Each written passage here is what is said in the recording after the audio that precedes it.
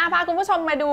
ความเคลื่อนไหวของกัมพูชากันบ้างนะคะ ตอนนี้เนี่ยผุดไอเดียออกมาค่ะเพื่อที่จะเชื่อมต่อปลั๊กอินรถไฟของกัมพูชาเข้ากับรถไฟของไทยนะคะแพรเว็บไซต์พนมเปญโพสต์เขารายงานค่ะบอกว่ารัฐบาลกัมพูชากำลังศึกษาการพัฒนาโครงการรถไฟในประเทศ โดยมีแผนพัฒนาระบบรถไฟสายเหนือของกัมพูชาให้มาเชื่อมต่อกับระบบรถไฟความเร็วสูงของประเทศไทยค่ะรายงานเนี่ยเขาบอกนะคะว่าโครงสร้างพื้นฐานระบบรางเป็นเรื่องจำเป็นอย่างยิ่งสำหรับทั้งภูมิภาคแล้วก็กัมพูชาอีกด้วย โดยเฉพาะเพื่อการขนส่งสินค้า ขนส่งคน แล้วก็สร้างเศรษฐกิจให้กับประเทศด้วยค่ะ นอกเหนือไปจากนี้แน่นอนล่ะจะทำให้เกิดการจ้างงานมหาศาลเลยนะคะ แล้วก็เป็นการสร้างโอกาสให้กัมพูชาเนี่ยอยู่ในสายตาของนักลงทุนต่างชาติเพิ่มมากขึ้น โดยไม่ตกขบวนท่ามกลางเพื่อนบ้านนะที่เขามีการพัฒนาโครงการพัฒนาระบบรถไฟอย่างต่อเนื่องไม่ว่าจะเป็นสปปลาวไทยหรือว่าเวียดนามก็เองแหมฟังข่าวนี้นะทั้งดีใจและเสียใจคือว่ามาเลเซียก็มาแล้วนะมาบอกเราให้รีบๆสร้างนะเพราะเขาอยากจะมาเชื่อมค่ะล่าสุดนี่ก็กัมพูชาใหม่แล้วบอกให้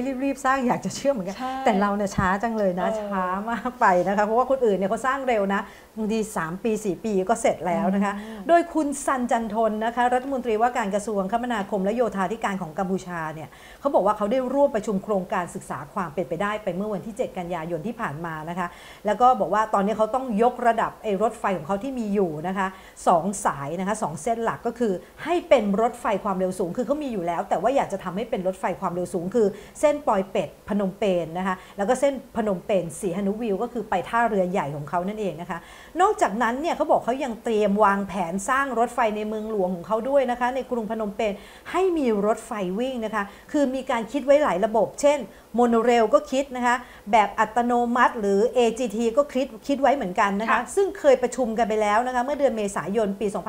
2562 นะคะ บอกว่าตอนนั้นเนี่ยประชุมไปแล้วก็พยพยายามจะเลือกว่าจะเอาแบบไหนก็คือเลือกรูปแบบรถไฟเนี่ยไว้ 3 รูปแบบคือค่ะแบบรางเบาโมโนเรลนะคะเราก็มีบ้านเรานะคะ แบบอัตโนมัตินะคะ AGT แล้วก็แบบรถไฟใต้ดินหรือ metro นะคะ แต่เขาบอกว่าอาจจะตัดรถไฟใต้ดินทิ้งเพราะว่าราคาแพงเกินไปอืมค่ะ โครงการทั้งหมดนี้ก็จะเริ่มต้นศึกษาความเป็นไปได้นะคะแล้วเมื่อศึกษาเสร็จแล้วก็จะมีการจัดประชุมในระดับรัฐมนตรี และก็ผู้เชี่ยวชาญต่อไป เพื่อกำหนดช่วงเวลาในการจัดซื้อจัดจ้างค่ะ แล้วก็การหาหุ้นส่วนในการลงทุนด้วย ซึ่งระบบรถไฟความเร็วสูงของกัมพูชาเนี่ยนับว่ามีความสำคัญอย่างยิ่งนะคะ ต่อการขนส่งสินค้าของกัมพูชา และก็ยังช่วยส่งเสริมการท่องเที่ยวในระดับภูมิภาคอีกด้วยนะคะ ทางฝ่ายของคุณเจียจันดาราประธานสมาคมโลจิสติก และห่วงโซ่อุปทานกัมพูชาเขาบอกว่า เวลานี้เนี่ยระบบโลจิสติกของกัมพูชากำลังพัฒนาการขนส่งทุกรูปแบบเลยคุณผู้ชม คือไม่ว่าจะเป็นทางบกทางน้ำทางอากาศทางทะเลทางถนนก็ตามนะเพื่อทำให้ต้นทุนการขนส่งในประเทศเนี่ยมันถูกลง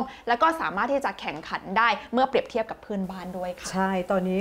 คือว่าเราเนี่ย ถือว่ายังแพงอยู่นะค่ะในไทยก็แพง เพราะฉะนั้นเราต้องลดลงกว่านี้ เพราะว่าต้องไปทางรางถึงจะค่ะถูกลงเพราะว่าน้ำมันมันแพงแล้วนะตอนนี้นะคือรัฐบาลกัมพูชามองว่าเนี่ยถ้ากัมพูชาสามารถเชื่อมโยง ระบบรถไฟความเร็วสูงกับเพื่อนบ้านได้ ทั้งทางลาวนะคะแล้วก็ทั้งไทยเนี่ยมันจะทำให้กัมพูชาเนี่ยเป็นที่น่าสนใจของนักลงทุนด้วย คือเขามีกันหมดแล้วเราไม่มีเนี่ยเขาก็ค่ะคงไม่ไปเขตเศรษฐกิจพิเศษสีฮานุวิวแน่เลย เพราะว่าถ้าต้นทุนทุกอย่างมันแพงก็ไม่มีคนเข้าไปนะคะ เพราะว่าตอนนี้ระบบรางนะเขาบอกว่าทั้งถูกทั้งดีทั้งเร็ว แล้วมันเชื่อมโยงได้เยอะมากใช่โดยเฉพาะการเชื่อมโยงขึ้นไปที่จีนแล้วก็ไปที่ยุโรปโอ้โหกลายเป็นข้อดีไปแล้วนะรถไฟข้อดีมากๆเลส่งยทีก็ได้เยอะเลยนะคะอืมค่ะ